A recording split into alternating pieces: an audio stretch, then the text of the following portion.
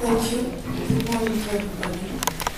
Um, I work in uh, Directorate General Internal Marketing Services and I've been in the team that has drafted, has initiated this reform of the directives and uh, gone through all the process of negotiation with European Parliament and Council. I will try today to walk you through this process, explain to you the main features, the main reasons, and give you some um, uh, hints also on the part that will start now, that is the part left to member states for transposing these new directives.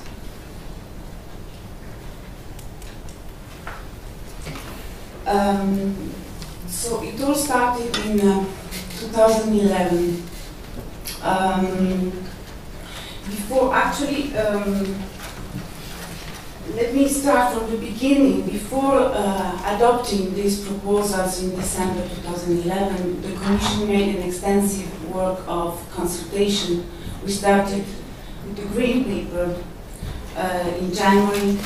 Uh, we did the evaluation of the existing directives, the directives of 2004, and uh, um, we made a public consultation that ended in June 2011. All this was based on the Single Market Act that had been adopted and mentioned public procurement as one of the 12 pillars for recovering and uh, obtaining growth and um, improvement of the market. So in December 2011, uh, the Commission adopts three proposals for three directives, the directives on public contracts, the directives on utilities, and the directives on concessions. Uh, during, from January 2012 to July 2013, there have been the negotiations, first uh, in the Council and adoption of the general position, then uh, Parliament adopted its own report, and then there were the so-called trialogue negotiations where Commission, Parliament and Council sit together and uh, negotiate the the words and the commas of the text. Um, so the political agreement was reached in uh, summer, last summer, and then there was a long period for uh, legal revision of the text and for translation in all languages.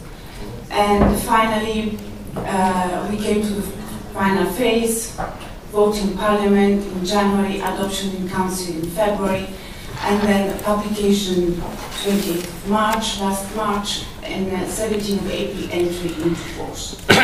entry into force means the start of the transposition period, and I will come back to that at the end. So what was, were the objectives of uh, this reform, and uh, what were the, the main trade-offs Based on the public consultation and uh, more than 600 uh, replies we received, there was a unanimous call for simplification and flexibilization, more flexible rules. This was unanimously shared by all stakeholders. There were, on the contrary, very mixed views on strategic procurement. What we call strategic procurement means the possibility to use uh, criteria in order to um, pursue so social, environmental, or innovation goals. So in other words, to include non-economic factors in the decisions of the contracting authority. There we had different views amongst stakeholders, and it was probably one of the most difficult parts uh, to, be, uh, to be negotiated. Another important element of this reform was to um, increase access to public procurement, both in general for SMEs and also to increase the cross-border access to public procurement, which is still very, very low in the European Union. And then there was also a strong um, accent put on the sound procedure, the legality, um, the accountability of the action of contracting authorities. Um, then a general uh, title on governance and professionalization. All these objectives and trade-offs are of course in tension between them, especially between simplification and strategic procurement there is a big uh, tension. And the solution that was um, chosen by the legislation was the so-called toolbox approach, meaning that uh, the tools are there, it's an enabling approach. There are the possibilities in the legislation, and then it's up to the contracting authority to choose between a simple procedure or a more sophisticated one based on also on its own capacities. Indeed, these new directives are very demanding in terms of capacity of contracting authorities, but also this I will come back at the end. I will uh, try to quickly drive you to the, to the main features. First of all, simplification. Um, the first aspect of simplification is the additional flexibility given to contracting authorities. I will not spend a lot of time there because uh, my colleague will, will talk about procedures uh, in his presentation. I will simply say that there is a more, there are increased possibility for negotiations in the procedures. There has been a general overhaul of the procedure uh, that have been simplified wherever possible, and that uh, there are simplified rules for uh, smaller authorities. Um, meaning that this, I will local sub-central authorities, so um, local authorities will have the possibilities to use uh, information notices instead of contract notices, so a lighter uh, and quicker way to, to publish notices and we'll have the possibility to uh, fix time limits in agreement with, with, um, with tenderers. This, of course, is subject also to agreement of the member states. We'll have to choose if implementing or not this, this feature for sub-central authorities in the transposition. Another aspect of simplification is the reduction of administrative burden um, here we have a substantial uh, change. First of all, the principle is now that the contracting authority in the first phases of the procurement procedure has to rely only on self-declarations.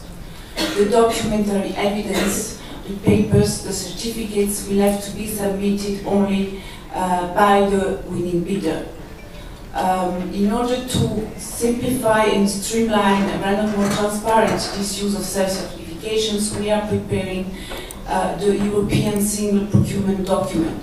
this will be an electronic um, form that will be translating identical in all languages um, that will have to be filled in both by contracting authority and by the bidders with uh, the elements that are necessary to qualify the bidder, the exclusion criteria, selection criteria, um, and all the initial self-declarations. This will be signed and handed uh, be electronic and will allow for the qualitative selections and evaluation of tenders. All the paper will be submitted later. There is also the possibility, a look into the future uh, actually if in some member states it's already present for some areas, the possibility also for contracting authority to go itself to check into national databases if the self-certification is correct. That is why in the European Single Procurement Document we are preparing a, a part where it will be possible to include the, the email address, um, the link uh, where the contracting authority can access the document directly, so there will not even be in the future exchange of, of paper documents. Another aspect of the simplification is the mandatory use of, of electronic tools for communication in public procurement. this has been strongly negotiated by member states that wanted to resist. I think Romania is quite advanced on this, this aspect, but others are not. Um, it will be mandatory um, at the end of the transposition period, but member states will have the possibility to prolong um, paper uh, procedures until autumn 2018. Immediately mandatory for central purchasing bodies. Oh. Uh, yes, this is the timeline for um, for the communications. In uh, um, 2017, it will be mandatory for central purchasing body, and in October 2018, it will be mandatory for everybody. This is quite important, I mean, uh, in terms of, uh, of uh, reduction of, of uh, expenditure, it is a, really a big, big impact. Another aspect of simplification has been um, the, some uh, um, provisions that have been introduced in order to clarify the scope, and I'm thinking of the public-public um, exemption from the directive. I will uh, give you the details if you if you want to. Uh, later, but there has been a codification of case law, and it has been defined. Uh, it's an area where there is no actually no legislation. It's only the case law of the Court of Justice. Therefore, there is a lot of insecurity. Um, so it is now defined what is a vertical in-house cooperation and uh, with, with uh, different features, and also what is the so-called horizontal cooperation, all based on the codification of case law and of the further um, further elements that have been negotiated uh, in the trialogues. And another very important element is the end of the distinction of the services between A's, um, services A and B, priority and non-priority services. At the moment, there, is this distinction in the directives, meaning that the services that are listed in Annex 2A are um, subject to all the, the, provisions of the directives, while the services listed in the 2B are called non-priority services, are subject only to a few um, provisions. And there is also a category that is called other services, so all the uh, services that are not listed explicitly in Annex A are subject to only few rules.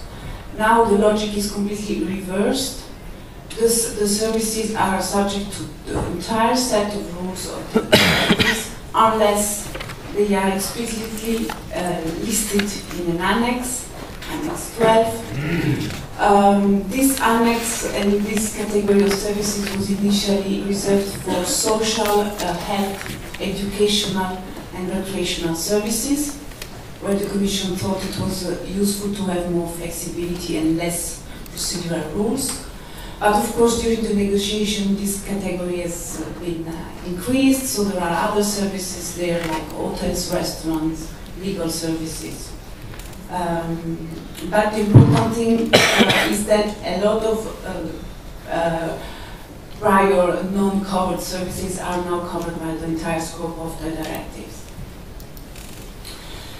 The second aspect, uh, as I told you, was the better access for SMEs. So there are provisions to facilitate small and medium enterprise, like the division into lots. It's not mandatory to divide into lots, but if the contracting authority does not do it, it has to explain why. So it's an encouragement, or at least a, yes, an encouragement to think whenever possible to divide into lots. There is a turnover cap. It is not possible to ask for financial requirements that uh, turnover requirements that are the double, more than the double of the estimated price of the of the contract there is the possibility to uh, impose direct payments to subcontractors. Um, and the European Single Document and its facilitation in the, the, selection procedure is certainly most beneficial to small and medium enterprises. Then comes the strategic procurement, as I told you, social innovation and environmental considerations, how to include them in the procurement decisions um, the main principles. Uh, the freedom to, of choice of what to buy is maintained. So the, the, this has been debated at the beginning. There are no rules on what to buy, so simply rules on how to buy. Um, what to buy can be possibly reserved to sectoral legislations, but not to general public procurement rules. The link to the subject matter, the fact that the criteria you take into account have to be linked with what you're going to buy is maintained. This is the basic principle of public procurement in order to avoid discriminations, but there is a, an evolution of this concept because there is inclusion of the production process. Um, if uh, before uh, or now, still now, uh, the link with the subject matters means um, that you can ask for criteria that you can almost feel, see, and touch in the product you're going to buy. Now this is over, it is clarified that everything that goes into the production process from the beginning um, can be relevant into the uh, purchasing decisions. For instance, it is now clear that you can ask for a, a product to be produced in a less uh, mm, less damaging way for the environment less production of CO2, for instance, in the production process. This is a relevant criteria and it can be used if, if somebody wants to. Also, social aspects can be used. You can um, ask that um, disadvantaged or vulnerable people are included in the, uh, in the production process or in the provision of the service. You can require now labels directly if the criteria that are uh, subjection to the label are linked with the, with the subject matters. Don't need to describe all the features of the labels. You can simply state this is the label while of course accepting equivalent labels.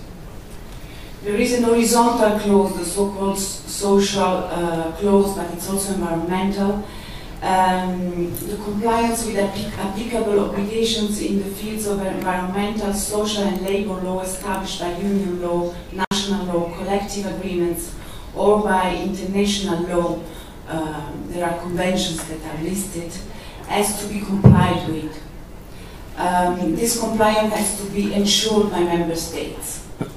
this has important consequences in uh, several phases of the procurement. For instance, it will be mandatory to exclude uh, an offer for, for abnormally low grounds if the contracting authority finds out that abnormal, uh, abnormally low uh, offer is abnormally low because there is no compliance with these obligations.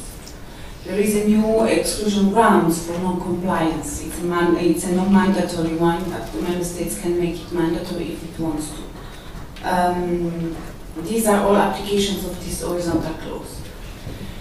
Green procurement, well, I told you already, labels, production process, and the life cycle costing. It is now possible uh, to use life cycle costing in the costing in the award between award criteria. There are two um, criteria that are only economic. One lowest price, and now there is also the lowest cost. Lowest cost meaning that you can, uh, apart from price, take into consideration also maintenance, uh, energy consumption, and if you want to the entire life costing, which means up to the end of life of the product or the service concerned.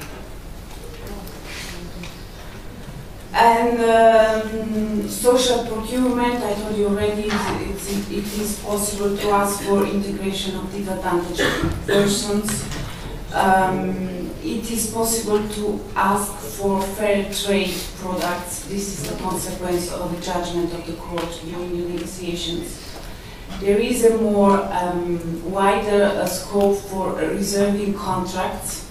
Um, now it is possible to reserve contract, contract to sheltered workshops um, only and when these workshops uh, um, have more than 50% of, of, uh, handicapped person in the, in the workforce. Now it is wider.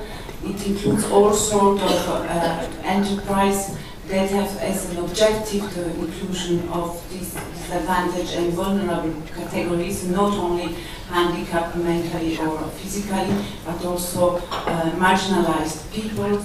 And, uh, and the proportion, the percentage of the employed people uh, is um, lowered at 30 percent. Um, there is um, a long article on subcontracting with a lot of options for, uh, for member states to, to transpose. As I told you, there is these uh, special categories of services, uh, um, social services plus others, where there is a light regime. We call it light regime. It, there is a much higher threshold 750,000 euros. And um, there is an, an obligation to publish a prior publication that was not existing before for the PPP services, plus uh, the obligations to the, the obligation to um, publish an award notice. But apart from that, in respect of the main principles of the treaty, it's only national rules that apply. This above the threshold uh, below the threshold, there is also a sort of presumption that uh, there is no cross-border interest. This means that you don't have to apply anything at European level. This is a, a, presumption in the absence of contrary elements. One of these contrary elements is, of course, the presence of EU funding. So if you have EU funding, you cannot presume that there is no cross-border interest. But in the other cases, you can be quite safe saying that you don't need to publish at EU level. Finally, sound procurement. There is an increased transparency. Uh, I, I, have, uh, I have asked my presentation mainly on classical sector, but of course there is, there is a new directive on concessions. This is a major novelty um, which means that there is prior publications for concessions. As I told you, there is public, uh, prior publication for all types of services. E-procurement is also a, a, plays an important role in, in increased transparency and, uh, and the standardized declaration as well. During the procedures, there has been the reinforcement of exclusion grounds. There are now exclusion grounds aimed at excluding uh, tenderers who have concluded agreements, cartels between them that have tried to influence the contracting authority, that try to breach confidentiality. There is, for the first time in the EU legislation, a definition of conflict of interest and the obligation for member states to take measures to prevent, identify, and correct conflict of interest when they exist. Um, there is a, a discipline of, of, prior involvement in market consultations and the possibility to exclude for prior involvement in case there are no other less intrusive means to, to solve the, the, the unbalanced situation. And there is a new um, discipline of abnormally low tenders. Main feature is that it is now necessary, mandatory to ask for uh, reasons of um, uh, why a tender is so low. There is a, a, the initial proposal of the Commission, there was the identification of an abnormally low. There were um, figures and percentages that identify what is an abnormally low. Unfortunately, this has not been retained. Neither Parliament or Council wanted it, so it has been cancelled. Um, therefore, there is no definition of abnormally low, but in case of abnormally low, and there is the obligation to ask for explanation, even if you want to, uh, in any case, accept the abnormally low, you want to take the risk.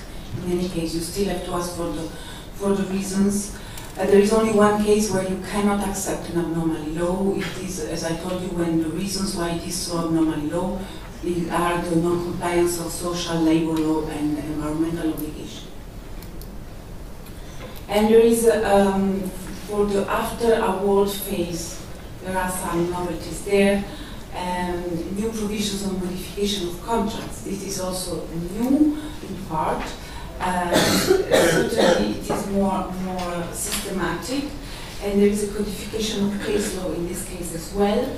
There are clear rules on when you want to, when you can modify a contract without publishing a new call for tender, trying to reduce the, the legal, legal insecurity on this matter. Um, termination of contracts, there are provisions that um, make it mandatory to allow for termination of contracts. And there are um, reporting obligations of member states on, on, this, uh, on this aspect, to, on the measures they take to prevent and detect fraud and corruption. Finally, governance and professionalization of procurement. Um, the governance part of the directive has been very much um, reduced uh, from the initial commission proposal to the, the end result. Um, this is certainly uh, a pity from the point of view of the Commission because, of course, we were uh, extremely aware of the fact that this, uh, these new rules require a lot of, of uh, knowledge, know-how, and professionalism by public, uh, public authorities and by contracting authorities.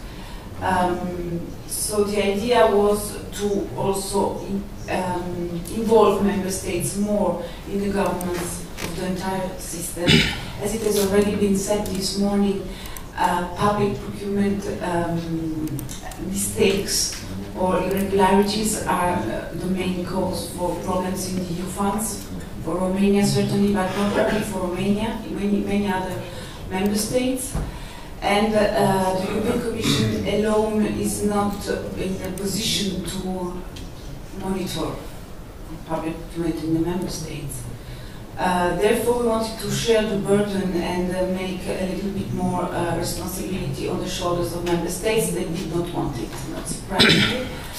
Um, therefore, there are, uh, well, there, there, are some survivors, some reporting obligations, and the, the, obligations to provide training and assistance to contracting authority, even in not such a developed form as the Commission would have uh, liked to. In any case, um, what I wanted to tell you here is that um, this is certainly a legal framework, a new legal framework that is very uh, sophisticated in some aspects.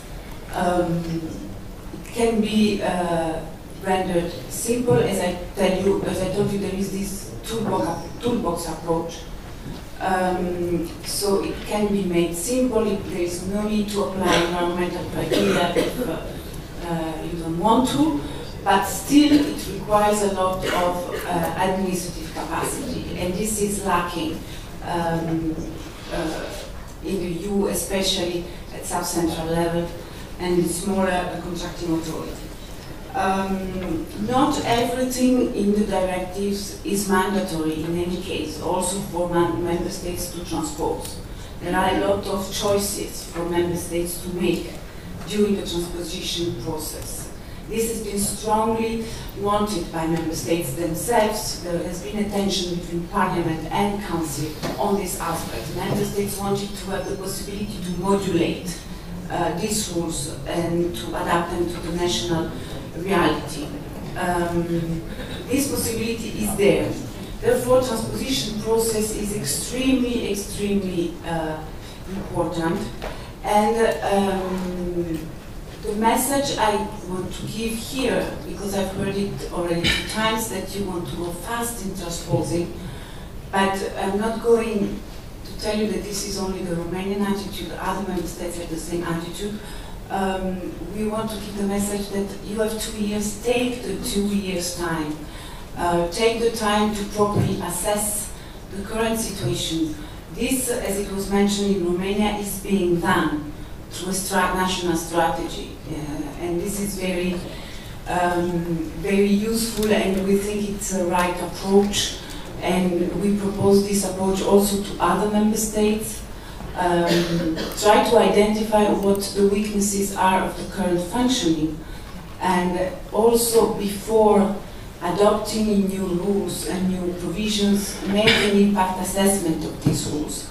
Take really the time to think of the entire architecture of the system, both from an institutional point of view and from the uh, on the ground of the provisions and legislations, what the impact can be, what can be done in order to improve coherence and uh, improve um, easiness and user-friendliness application. Um, and also um, take the time to enhance the administrative capacity of the contracting authority. Only in this way it will be possible to deliver good results in terms of public spending and um, only in this way uh, public procurement can deliver its objective of best value for money and growth. Otherwise it will be still an area of weakness of, of uh, non-competitive and non-transparent way of spending public money. This is all I wanted to say for the moment, but of course I'm available for all type of questions and later on for discussion in the round table.